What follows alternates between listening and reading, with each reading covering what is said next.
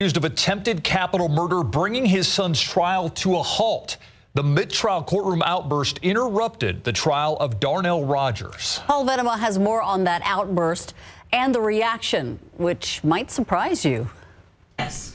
Darnell Rogers is on trial on attempted capital murder charges. At his request, he's been acting as his own lawyer.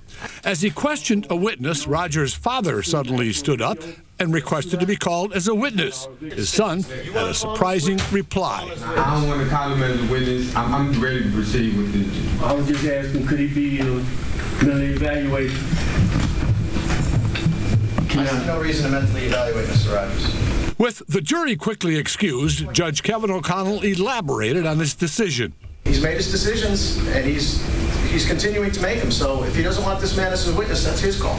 Outside the courtroom, Rogers' father said that he had information that his son could use in his defense. And he also explained why he asked to participate in the trial. So now, ain't in the right state of mind no more. He been locked up. I don't mean just in jail.